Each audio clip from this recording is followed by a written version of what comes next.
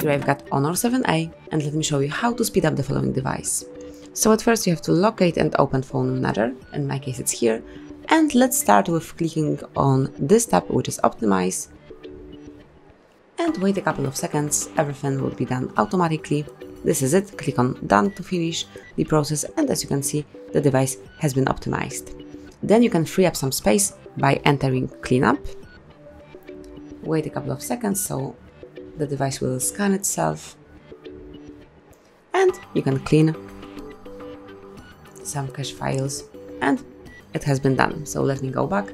You can also go to virus scan to check if it's secure and it definitely is. So actually that would be all. This how you can speed up your device, how you can get rid of, of some unnecessary files and also check if you have any viruses included in your Honor 7A and then get rid of it. And that would be actually all. Thank you for watching, please subscribe our channel and leave the thumbs up.